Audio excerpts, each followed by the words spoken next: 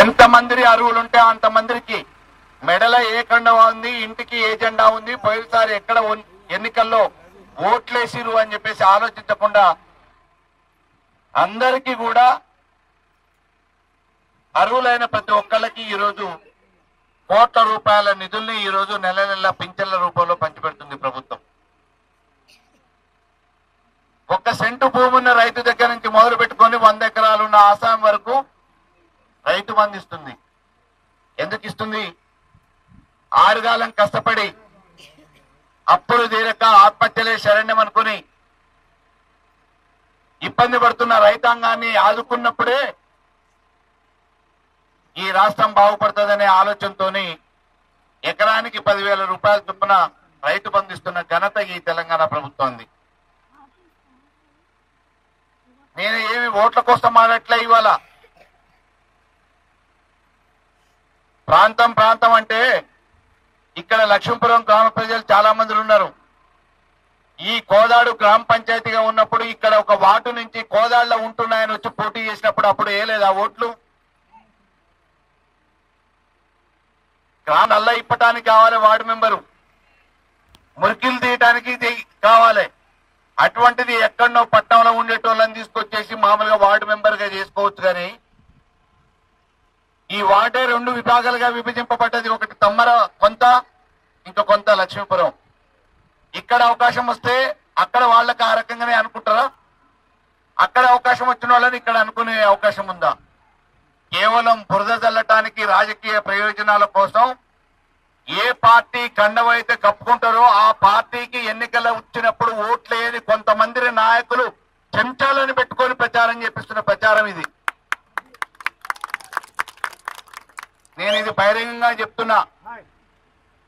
మేం పెద్ద పురుషునం చెప్పి పుడింగిలుగా మాట్లాడే కొంతమంది నాయకులు చెట్టు పేరు చెప్పుకొని కాయలు అమ్ముకునేటోళ్ళు తల్లి పాలు తాగి రొమ్ము గుచ్చేటోళ్ళు కొంతమందిని చెంచాలను పెట్టుకొని కండువలు మెళ్ళ వేసుకొని ఆ చెంచాలతోని చేపిస్తున్న ప్రచారం.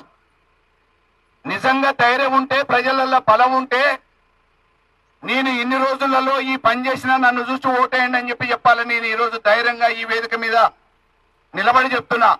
నాకు ఓటేయమెందుకు ఎందుకేమని అడుగుతున్నా అంటే తెలంగాణ ప్రభుత్వం అనేక సంక్షేమ కార్యక్రమాలు అట్టడుగు వర్గాల కోసం అడుగు బలహీన వర్గాల కోసం మైనార్టీల సంక్షేమం కోసం హరిజన గిరిజనుల కోసం తాడిత పీడిత వర్గాల కోసం పనిచేస్తుంది ఇవాళ. అందుకోసం ఓటేయమని చెప్పి అడుగుతున్నా. మల్లన్న గారి ఆధ్వర్యంలో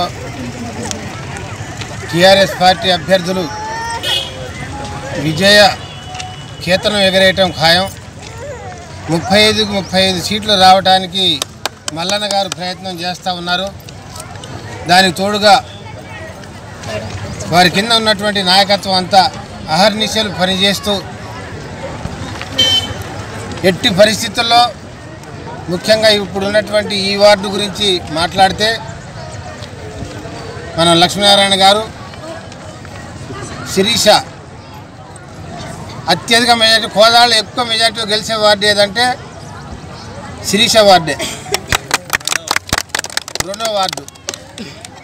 కాబట్టి ఈ యొక్క సమాచారాన్ని శ్రేయభిలాషులు మిత్రులు సరే మేము వచ్చి పర్సనల్గా కలిసినా కలవకున్న కేసీఆర్ గారి నాయకత్వంలో మల్లన్న గారి నాయకత్వంలో ఇక్కడ లక్ష్మణ్ గారి నాయకత్వంలో ఈ యొక్క కార్యక్రమం ఈరోజు విజయ వి- దుదుంబి భోగిస్తూ ఉన్నది. ప్రతి ఓటర్ని ఎవరిని పలకరించినా సరే లక్ష్మణ్ గారు శిరీష గారు గెలవాలనేటటువంటి ఆకాంక్ష అందరి మనసులో ఉంది కాబట్టి హోదాలో మొత్తం పెద్ద మెజారిటీతో గెలిచే ఇదే వార్డు కాబట్టి మీ అందరికీ ఇది పేరు పేరున కృతజ్ఞతలు ధన్యవాదాలు తెలియజేస్తా ఉన్నాం. ఈ జరిగేటటువంటి ఎన్నికల్లో మేము తిరిగేటటువంటి పరిశీలకులుగా అన్ని వార్డులు తిరుగుతూ ఉన్నాం.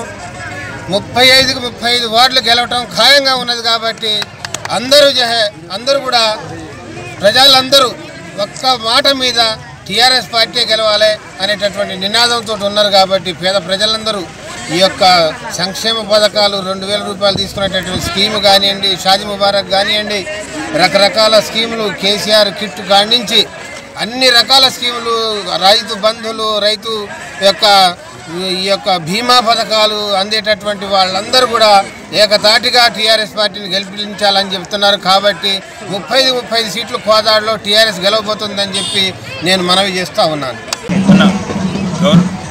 గౌరవ ముఖ్యమంత్రి కేసీఆర్ గారి పిలుపు మేరకు కేటీఆర్ గారి పిలుపు మేరకు మన స్థానిక ఎమ్మెల్యే బొల్లం మల్ల యాదవ్ గారు ఏదైతే ముప్పై ఐదు వార్డులకు రాబోయే మున్సిపల్ ఎన్నికలు జరుగు ఇప్పుడు జరగబోతున్నటువంటి మున్సిపల్ ఎన్నికల్లో ముప్పై ఐదు వార్డులకు ముప్పై ఐదు మంది కౌన్సిలర్ని గెలిపించుకోవాలనేటటువంటి కృత నిశ్చయంతో కౌన్సిలర్ అభ్యర్థులందరినీ కూడా యువతకు ప్రాధాన్యం ఇచ్చి ఎన్నుకోవడం అనేటటువంటి జరిగింది. దానిలో భాగంగా ఈ రెండవ వార్డు కౌన్సిలర్గా శిరీష లక్ష్మీనారాయణ గారిని పంపించడం అనేటటువంటి జరిగింది. ఇక్కడ ఉన్నటువంటి ఈ లక్ష్మీపురం కాలనీ తమ్మర కాలనీలో ఉన్నటువంటి సమస్యలు ఏవైతే ఉన్నాయో గత సంవత్సరాల గతంలో ఎప్పటి నుంచో ఉన్నటువంటి ఈ సమస్యలన్నిటికీ కూడా మన మల్లన్న గారు వచ్చిన తర్వాత సంవత్సర కాలంలో చేసినటువంటి అభివృద్ధి పనులు ఏవైతే ఉన్నాయో వాటిని బేరీజు వేసుకొని ప్రజలంతా కూడా రాబోయేటటువంటి మున్సిపల్ ఎన్నికల్లో కారు గుర్తుకు ఓటేసి అత్యధిక మెజార్టీతో ఇక్కడ ఉన్నటువంటి అభ్యర్థిని గెలిపించాలనేటటువంటి కృత నిశ్చయంతో ఉన్నారు. వారు చూస్తున్నటువంటి ప్రత్యక్షంగా చూసిన అభివృద్ధి కార్యక్రమాలు భవిష్యత్తులో చేయబోయేటటువంటి అభివృద్ధి కార్యక్రమాల మీద ఆశతో అభ్యర్థిని తప్పకుండా గెలిపించుకోవాలనేటటువంటి ప్రతి ఒక్కరూ ఆశిస్తున్నారు. ప్రతిపక్ష పార్టీకి ఓటేసినటువంటి ఎట్లే ఓటు అనేటటువంటిది వృధా అవుతుంది. ఎలాంటి అభివృద్ధి కార్యక్రమాలు జరగవు అనేటటువంటి నిశ్చయానికి వాళ్ళు వచ్చారు. దానివల్ల ముప్పై ఐదు వార్డులోకెల్లా అత్యధిక మెజార్టీతో ఈ రెండో వార్డులో మనం టీఆర్ఎస్ తరఫున కారు గుర్తుపై అభ్యర్థిని గెలుచుకోబోతున్నామని తెలియజేస్తున్నాం.